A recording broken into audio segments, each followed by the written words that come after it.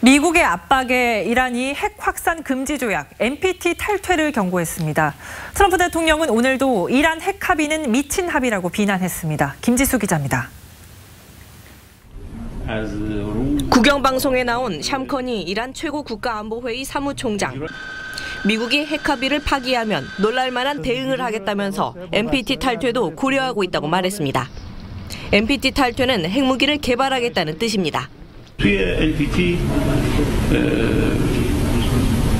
کشورهای متعاهد حق 이 رو دارن اگر احساس کنن منافع ملیشون 특히 이란은 핵 기술을 재가동할 능력이 충분하다고 경고했습니다. 이와 관련해 트럼프 미 대통령은 이란 핵 합의를 끔찍하고 미친 합의라고 원색적으로 비난했습니다. The Iran deal is a disaster. They're testing missiles. Insane. It's ridiculous. It should have never been made.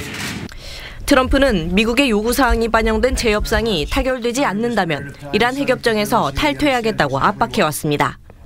또 다음 달 12일이 시한인 이란에 대한 경제 제재 유예를 더 연장하지 않겠다고 선언해 왔습니다. 2013년 11월 이란과 서방이 핵협상을 잠정 타결해 핵 위기가 해빙 무드에 접어든 지 4년 반 만에 이란 핵 위기가 다시 고조되고 있습니다. TV조선 김지수입니다.